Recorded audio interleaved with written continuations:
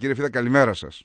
Καλή σας ημέρα. Τι κάνετε; Προσπαθούμε να είμαστε καλά. Προσπαθείτε εκεί στο Πανεπιστήμιο. Ε, δεν ξέρω τώρα, είναι πολύ αστεία αυτή η ιστορία, συγγνώμη που το λέω έτσι, γιατί έχει κάνει μια πτέρυγα ο Ρουβίκονας. Φαντάζομαι ότι ανοίγει ο δρόμος να γίνουν και μεγαλύτερες. Δηλαδή, παλιά είχαμε τις παρατάξεις, τώρα άνοιξε ένα μεγάλο μαγαζί που λέγεται Ρουβίκονας. Αύριο μεθαύριο θα γίνει κάτι άλλο. Και επειδή εσείς δεν μπορείτε να κάνετε κάτι διαφορετικό, ζητάτε από την πολιτεία να κάνει τι. Γιατί η πολιτεία δεν προτίθεται να κάνει κάτι, εξ όσων γνωρίζω η πολιτεία δεν προτίθεται να κάνει κάτι και έξω στην κοινωνία για το θέμα του Ροβίκονα, πόσο μάλλον μέσα στα πανεπιστήμια από ό,τι αντιλαμβάνομαι. Ε, ε, να, να, γνωρίζετε ότι το θέμα της κατάληψης χώρων και δημιουργίας στεκιών, αναρχικών στεκιών ή γενικά στεκιών ε, ε διαφόρων συλλογικοτήτων.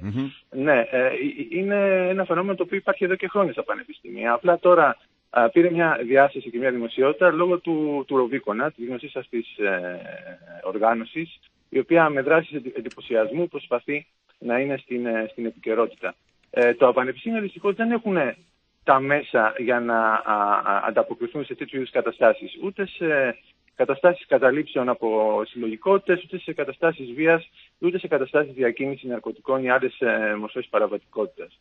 Ε, τέτοιου είδους δυνατότητα έχει μόνο η πολιτεία και τα, και τα αρμόδια όργανα το οποίο προφανώς ε, στην προκειμένη περίπτωση και όχι μόνο στην προκειμένη περίπτωση, σε άλλες περιπτώσεις δεν, ε, δεν ε, επιθυμούν να, να, να παρέμβουν. Είναι θέμα πολιτικής θα... απόφασης αντιμετώπιση mm-hmm. αυτών των καταστάσεων. Θα επιχειρήσω λίγο να απομυθοποιήσω αυτήν την ιστορία του Ρουβίκονα. Ενδεχομένως παρεμεινευτεί και αυτό που θα πω.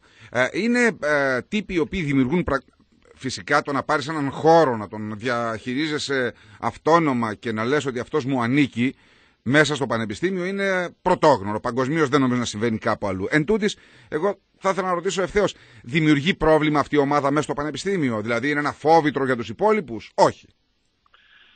Από πρακτική άποψης δεν το γνωρίζουμε. Αυτό θα, θα φανεί στο μέλλον. Αλλά είναι και θέμα όχι μόνο κύριους του Πανεπιστημίου, αλλά και αποστολής του Πανεπιστημίου. Το Πανεπιστήμιο έχει ως αποστολή την εκπαίδευση και την ελεύθερη διακίνηση και την ακαδημαϊκή ελευθερία και την ελεύθερη διακίνηση ε, ιδεών από όλους. Όμως δεν μπορεί να, να, να λειτουργεί υπό καθεστώς αυθαιρεσίας.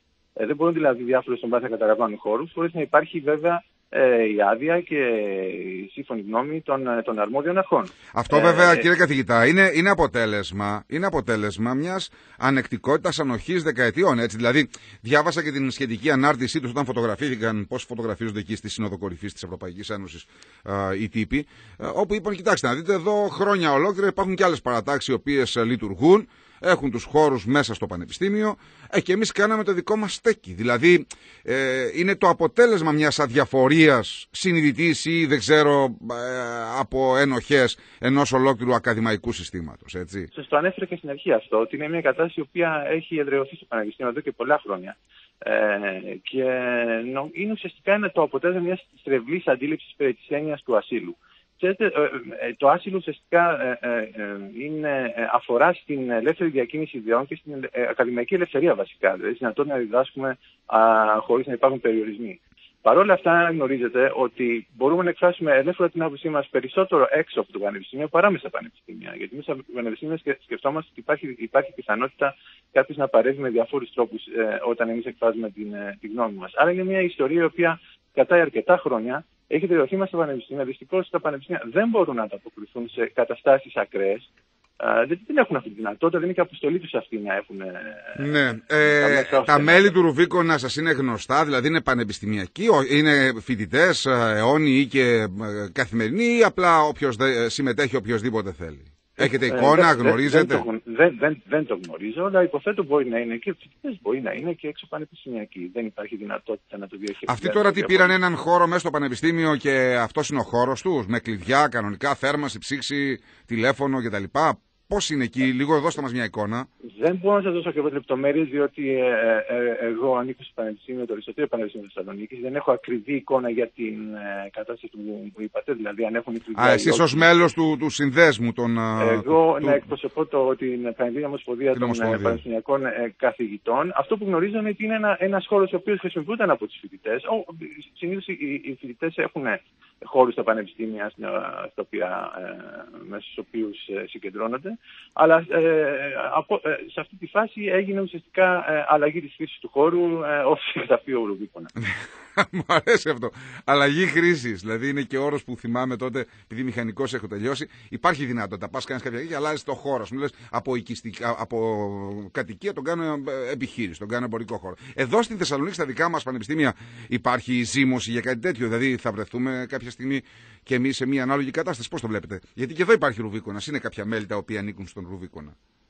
Υποθέτω τώρα που έγινε η αρχή, ε, δίνεται δυνατότητα και να, ε, να επεκταθεί αυτό το φαινόμενο και σε άλλα πανεπιστήμια. Δεν υπάρχει αποτελεσματική αντίδραση ε, στο πρόβλημα που δημιουργήθηκε στην Αθήνα.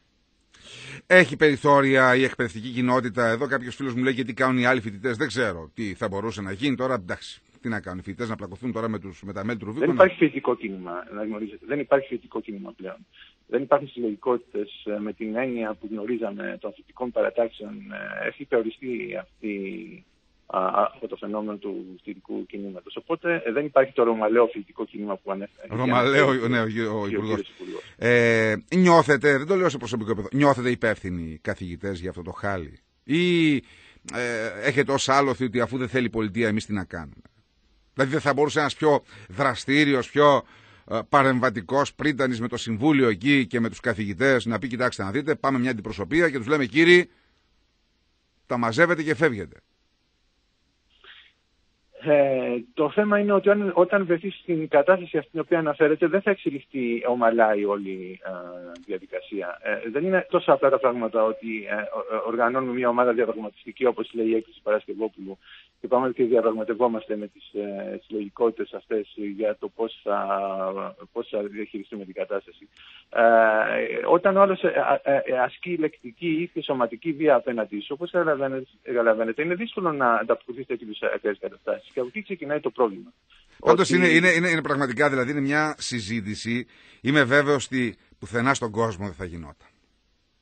Συμφωνούμε. Δεν υπάρχουν δηλαδή λόγοι να γίνει αυτή η συζήτηση. Δηλαδή, να συζητάει ένας καθηγητής, μέλος ενός οργάνου, μιας ομοσπονδίας, με ένα δημοσιογράφο, σε δημόσια ακρόαση, να συζητάμε για το πώς θα βρεθεί τρόπος ώστε ε, συλλογικότητα, άλλος όρος ελληνικός, μια συλλογικότητα μέσα στα πανεπιστήμια η οποία κάνει ουσιαστικά κατάληψη χώρου, ε, να μην λειτουργεί εκεί μέσα. Δεν νομίζω ότι υπάρχει χώρα σοβαρή, λιγότερο σοβαρή και μ, πολύ λίγο σοβαρή στην οποία να γίνει μια τέτοια συζήτηση. Δεν το έχω ακούσει, το έχω διαβάσει πουθενά.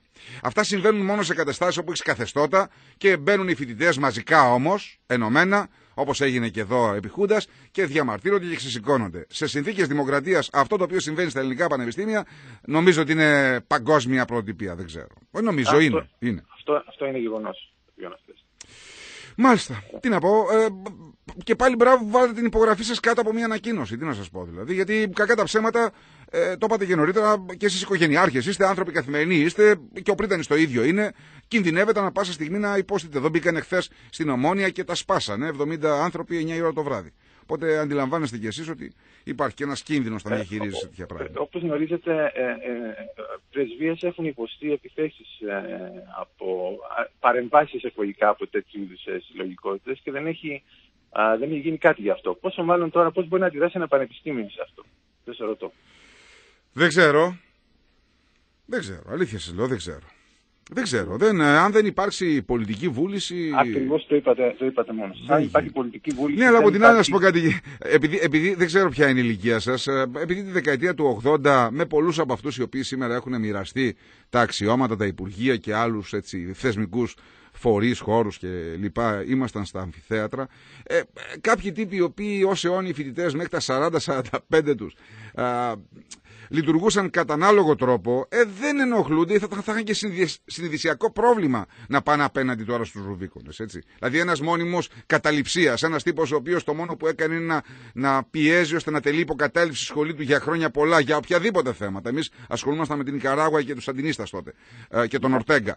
Ε, Αυτός τώρα, όταν είναι υπουργός, υφυπουργός ή οτιδήποτε άλλο αναπληρωτής, τι θα πει στον εκπρόσωπο που θα έρθει να του πει, φίλε, εσύ τι έκανες στην ηλικία μου; Το θέμα είναι ποιος διαχειρίζεται ε, αυτούς τους χώρους, αγαπητέ μου, κύριε Φιδά. Ναι, υποθέτω ότι η ιστορία του καθενός ε, παίζει ρόλο και στο πώς ε, χειρίζεται τέτοιε καταστάσεις και στο μέλλον. Ε, υποθέτω ότι συμβαίνει αυτό που το οποίο mm-hmm. αναφέρεται. Χθες μοιράστηκα μία ιστορία, δεν ξέρω κατά πόσας είναι γνωστή. γιατί εγώ τον είχα ζήσει τότε όχι στο ίδιο, στα ίδια αφιθέατρα, αλλά θυμάμαι τον Πολάκη, πρώτο συνδικαλιστή της ΚΝΕ, της Πανσπουδαστικής, ο οποίος εκείνη την περίοδο είχε πρωταγωνιστήσει σε ένα επεισόδιο με τον Μητροπολίτη Κονίτση τον Σεβαστιανό ο οποίος είχε έρθει από την Αλβανία για να μιλήσει για τους βορειοϊπηρώτε και τις διώξεις τις οποίες υφίστανται. Τον κάλεσε εδώ μια χριστιανική αδερφότητα, πώς λέγεται, δεν ξέρω, μια δράση. Και ο Πολάκης, επικεφαλής μιας ομάδας κνητών, πήγε κατέβασε στους διακόπτες και τους φώναζε τα σύνορα της Αλβανίας είναι μέχρι τη Λαμία. Ε, αυτός ο άνθρωπος σήμερα είναι υπουργός. Να πάει τώρα κάποιο να του πει τι αυτού. Καταλαβαίνετε, φαντάζομαι τι. Είναι βιωματικό λίγο, νομίζω, το όλο σκηνικό. Ναι, αλλά ξέρετε στην πορεία των χρόνων ε, αλλάζουν Κάποιοι, από Όχι όλοι όμως. Ε, όχι ε, όλοι. Ε, ε, Προφανώς όχι όλοι. Όχι όλοι. Να είστε καλά κύριε καθηγητά, ευχαριστώ πάρα πολύ. Ευχαριστώ γεια σας, γεια σας.